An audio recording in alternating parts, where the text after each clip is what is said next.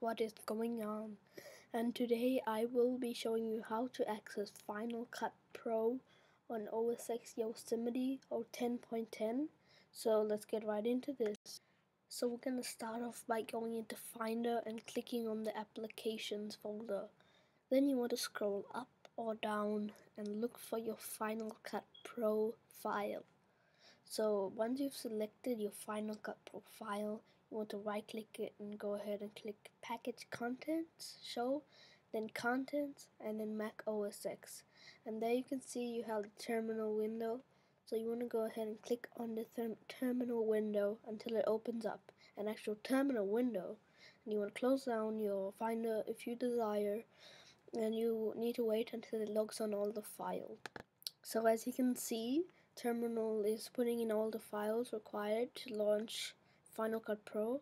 As you can see, it has a crosshair on it, so you want to go ahead and click it and it'll show the Final Cut Pro X or 10 logo and it launches right up. You can see I'm not lying, I just showed you how it worked. I'm on OS X 10.10, have a look, um, it's legitimate. And you can see all the files, so you can see one of my next tutorials, it's... Um, that's the intro as you can see. I, I did that myself and I think it's pretty good.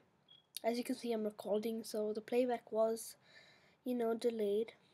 So all in all I thank you guys for watching this video and I'll catch you guys later